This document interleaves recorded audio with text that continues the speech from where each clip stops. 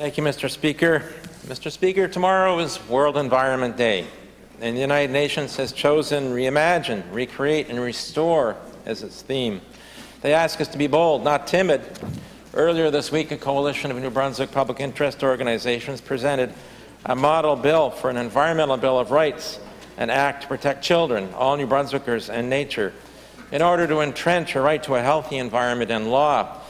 The, the, the communities of Sackville, Bertrand, Gagetown, and Tracadie have already adopted declarations in support of entrenching a right to a healthy environment in law.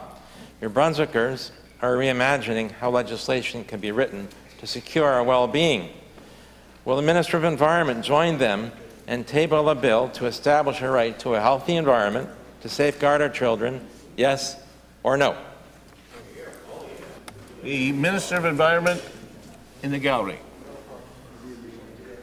Thank you very much the member opposite for the, uh, the ideas to move ahead with. We're certainly open at the environment for ideas for moving bills ahead, and we're certainly all about the environment. And regarding some of the accomplishments this past uh, year, there's lots on the go, including the uh, climate change money coming up, which you'll hear soon. And the member opposite and others will be very happy to hear about that.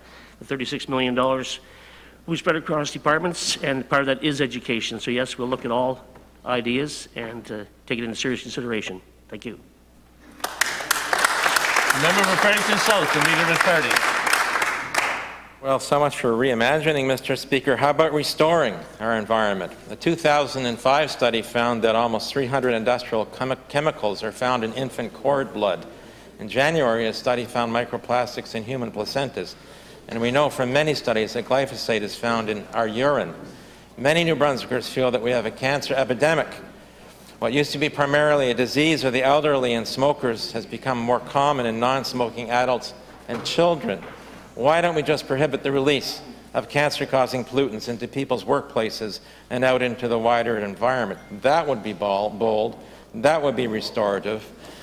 During the 1970s, Premier Richard Hatfield boldly enacted most of the environmental laws still with us today, but they haven't evolved in order to protect our children and adults.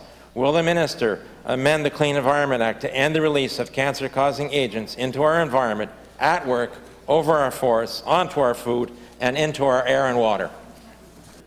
The Minister of Environment in the, in the gallery. Again, Mr. Speaker, for the question across the way. And as the uh, member knows, we're meeting this uh, well, end of June for our climate change uh, committee. And part of that is actually four days, I believe, is set aside for discussing the exact topic. And we look forward to having his in input at that time. Thank you.